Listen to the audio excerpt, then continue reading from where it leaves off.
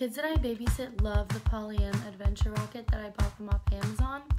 They're only four years old, so I was a little nervous that they would be too young for it, but they absolutely love it and played with the toy for like three hours straight.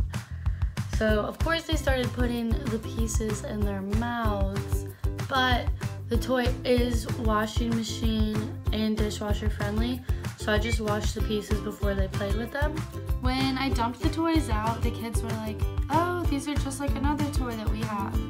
But honestly, these are a lot better than I've seen in other toys that are similar to this.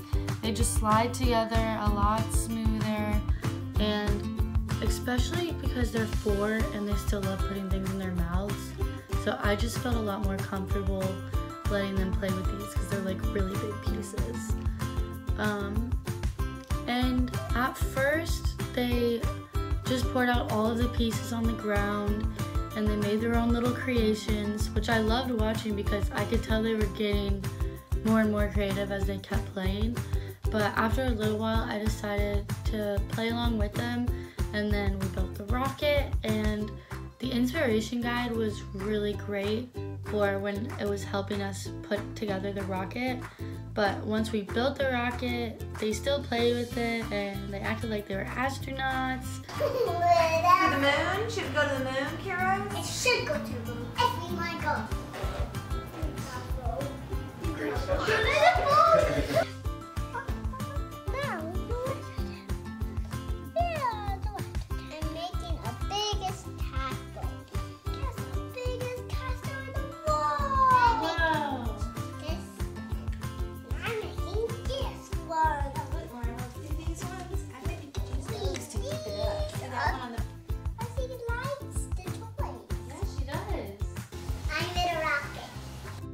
I had my eight year old cousins come over after I bought this for my four year olds that I babysit.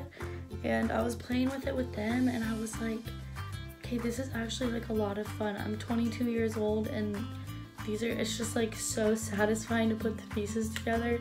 So I guess you could like play with it with your kids or whatever. But I enjoyed it, and I think that kids from like anywhere from two years old, three years old to like eight years old, or maybe if you're 22 like me and still like toys.